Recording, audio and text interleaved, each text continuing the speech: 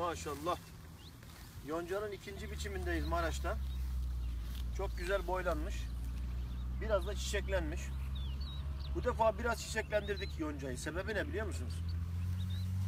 Yonca sürekli olarak çiçeklenmeden biçildiğinde yonca için stres yapıyor. Yani yoncaya heyecan vermiyorsunuz. Ya ben durmadan uzuyorum uzuyorum bir türlü çiçek görmeden beni biçiyorlar diye strese giriyor. Ee, Amerika'daki yonca üreticileri şöyle yapıyorlarmış. Her iki biçimde bir bir miktar fazladan çiçeklendirerek yoncaya heyecan veriyorlarmış. Daha çok kök yapsın, daha çok saçak yapsın diye.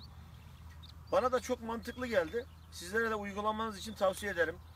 Sürekli olarak şunu söylüyoruz. Çiçeklenme döneminin başında tarlada %10 çiçeği gördüğünüz zaman biçin ki yüksek proteinli yoncanız olsun. Ama bir de yoncayı da düşünmek lazım. O da e, arada bir çiçek versin yani. Şöyle iki defada bir, üç defada bir yüzde 60-70 çiçeklenme olsun. Fakat onu sattığınız yere de onu söyleyin. Ya bu biraz fazladan çiçeklenmiş bir yoncaydı. Bir miktar protein değeri düşmüş olabilir. Ama nerede işe yarar? O da buzağlarda çok işe yarar. Çiçeklenmiş bir yonca da buzağlarda ishal yapmaz. Bu da bir not olarak aklınızda kalsın. Yoksa ne zaman biçeceğiz yoncayı diye sorduklarında çiçeklenme döneminin başı deriz. Yüksek protein alabilmek için.